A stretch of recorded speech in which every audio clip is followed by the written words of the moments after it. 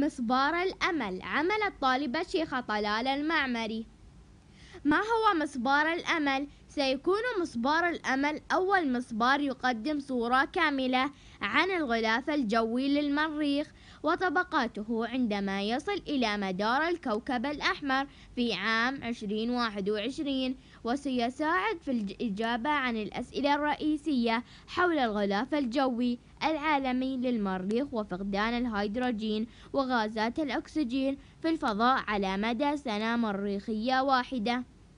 أين مصبار الأمل؟ انطلق مصبار الأمل في 20 يوليو 2020 أول مهمة للإمارات العربية المتحدة والعالم العربي إلى المريخ من جزيرة تانغاشيما في اليابان في رحلة طولها 493.5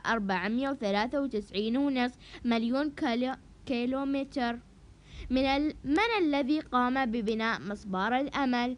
مستبيشي للصناعات الثقيلة. تم إطلاق مصبار الأمل من اليابان بواسطة صاروخ.